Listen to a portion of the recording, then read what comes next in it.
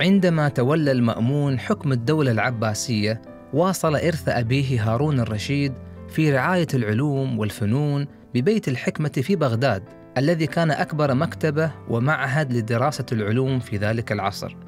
وكان محمد بن موسى الخوارزمي هو أبرز من عملوا في بيت الحكمة حيث كانت مهمته ترجمة الكتب في الكثير من المجالات كالفلسفة والرياضيات والفلك وغيرها. وكان مهتما بشكل خاص بكتب علماء الرياضيات الهنود حيث استخدم نظامهم للترقيم الذي كان يتضمن الرقم صفر. لم تتوقف إسهامات الخوارزمي عند ذلك فقد كان المجتمع بحاجة إلى تطوير علم الحساب في التجارة والميراث والدعاوى القضائية مما دفعه إلى تأليف كتاب حساب الجبر والمقابلة. الذي سمي عليه أحد أهم فروع الرياضيات لاحقا علم الجبر. الفريد في عمل الخوارزمي هو أنه يطبق حتى يومنا الحالي وكان أحد الأسباب الرئيسة في التطور العلمي والتكنولوجي اللي نعيشه لأنه وضع طرق علمية ومبسطة لحل المسائل الرياضية.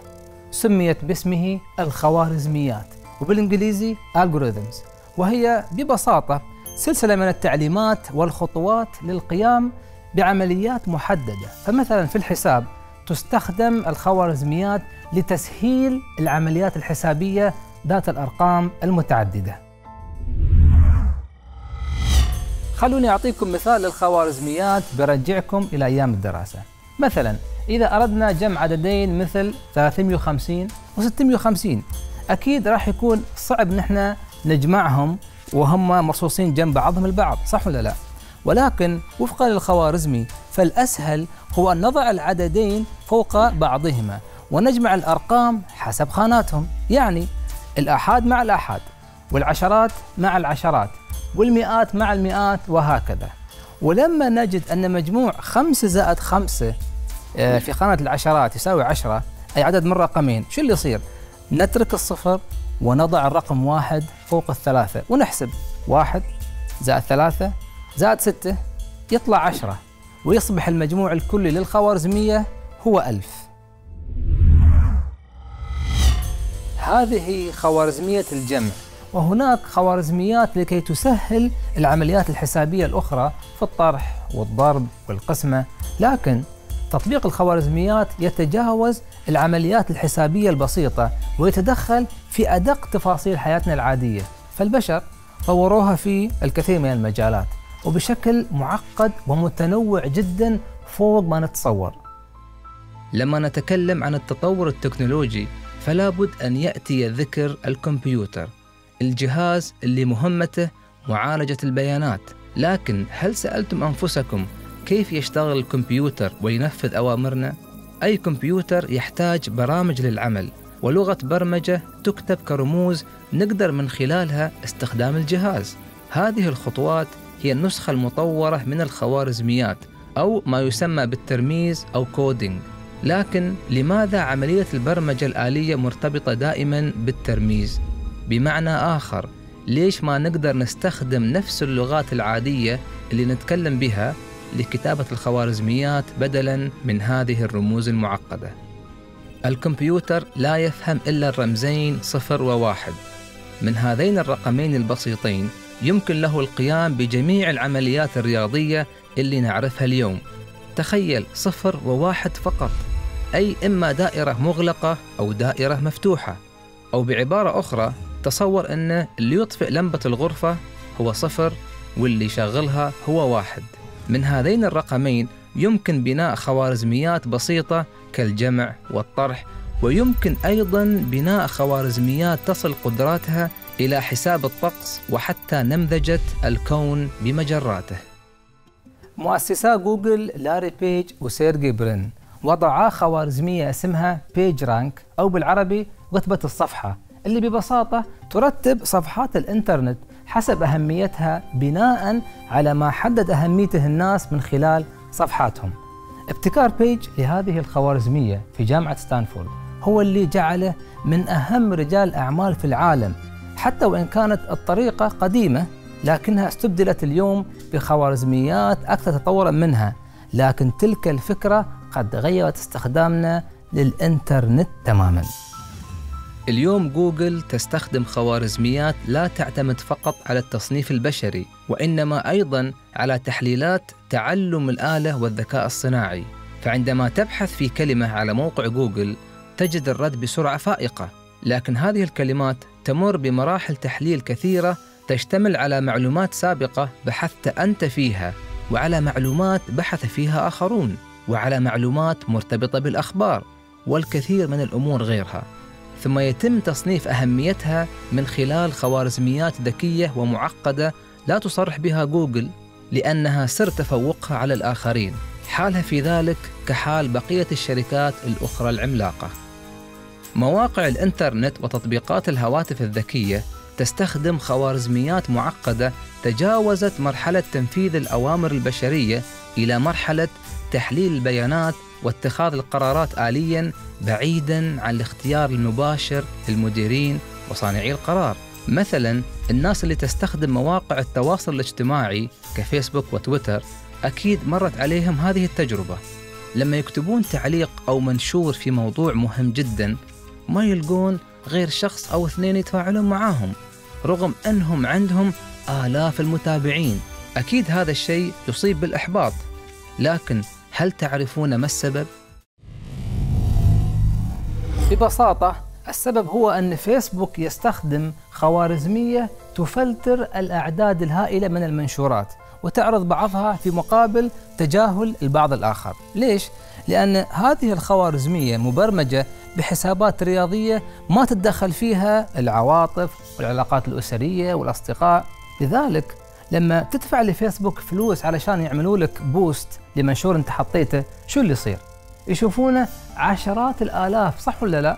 لأنهم في هذه الحالة أي فيسبوك يدفعون بهالمنشور ويحطونه في كل مكان. وفي دراسة في جامعة ميشيغان الأمريكية توصل الباحثون فيها إلى أن نسبة 12% من نتائج البحث على جوجل يتم شخصنتها، شو يعني؟ أي جعلها متوافقة مع المتطلبات الشخصية للمستخدم بناء على بياناته مثل عنوان سكنه واللغة اللي يستخدمها وأرشيف المتصفح اللي يستعمله وغيرها. وهذا أمر يقصده مبرمجو جوجل علشان يجمعون معلومات كثيرة عن المستخدم. الشيء الغريب هو أن هذا الأمر لم يطور عن طريق القصد ولكن بالمصادفة. هذا الشيء يضعنا أمام تطور خطير. فبرمجة الخوارزميات بهذا الشكل الآلي اللي يخليها تعمل دون تدخل بشري يخليها عرضة للأخطاء. ففي عام 2012 قامت الحكومة الأمريكية باستخدام خوارزميات لاختيار الفائزين بقرعة الحصول على الإقامة أو ما تسمى بجرين كارد لوتري اللي تقدمها سنويا لآلاف الراغبين في الهجرة إلى أمريكا. فارتكبت الخوارزمية خطأ عبر اختيارها فائزين من اللي قدموا طلباتهم في اليوم الأول من القرعة فقط مما أدى إلى إلغاء النتيجة لذلك العام وإعادة العملية. لكن هذا الخطأ يمكن تفاديه لأن النتائج يجب تطبيقها عبر الموظفين. بس في أحيان أخرى تخرج الأمور عن السيطرة فكثير من اللي يستخدمون التسوق الإلكتروني يلاحظون مثلا لما يحجزون تذكرة أونلاين إن السعر اختلف بين زيارة وأخرى لموقع الشركة، صح ولا لا؟ تعرفون ليش؟ السبب هو أن هذه المواقع تستخدم خوارزميات لكي تحدد الأسعار بناء على الكثير من العوامل مثل الطلب الزائد على الرحلة أو مثلا أوقات الرحلة، فبالتالي شو اللي يصير؟ إنك أنت تدفع سعر أغلى من سعر زميلك فقط لأن حظك مع الخوارزميات لم يكن موفقا. أحيانا الخوارزميات قد تؤدي لكوارث لبعض الشركات. في ديسمبر 2014 في خوارزمية في موقع أمازون عملت لهم مشكلة كبيرة، اللي صار هو أن هذه الخوارزمية اتخذت قرار أن تخفض أسعار الكثير من المنتجات مثل الهواتف المحمولة والأشياء الإلكترونية، تعرفون إيش كثر؟ بنسبة 99.99% مما أدى إلى قيام بعض المشترين بشراء هذه البضائع بالجملة.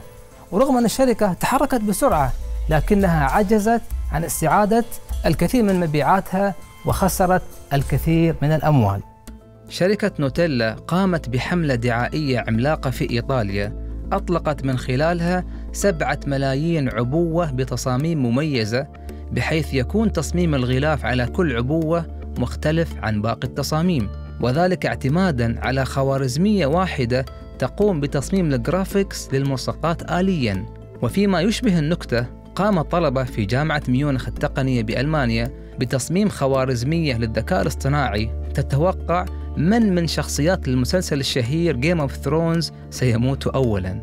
وذلك اعتمادا على التطور الدرامي للقصة المعروف عنها موت شخصياتها الرئيسة. على الجانب الآخر رغم خطورة التوسع في الاعتماد عليها إلا أن مستقبل الخوارزميات واعد في الكثير من المجالات وفي الطب خصوصا. هناك باحثون في معهد ماساتشوستس للتكنولوجيا في أمريكا يعملون حاليا على تطوير نظام جديد يقيس مدى الألم اللي يعاني منه المريض اعتمادا على تعبيرات وجهه. تصوروا الحسابات الدقيقة لهذه الخوارزمية تخليها تميز بين الألم الحقيقي والألم المزيف. تعرفون كيف؟ عبر إضافة بيانات عن المريض مثل جنسه وحالة بشرته وأشياء أخرى وهو ما يشكل حلا لمعضلة طويلة في عالم الأمراض حيث يصعب على الأطباء أن يشخصوا درجة الألم بدقة عالية.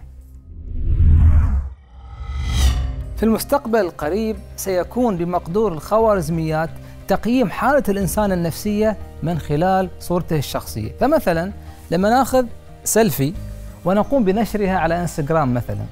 تقوم هذه الخوارزمية بدراسة ملامح الوجه وترجمة مشاعر صاحب الصورة. تصوروا وهو ما قام به باحثون من جامعتي هارفارد وفيرمونت في أمريكا عبر تحليل أكثر من 43 آه، ألف صورة لأكثر من 160 شخص باستخدام خوارزمية. مهمتها اكتشاف أعراض الاكتئاب.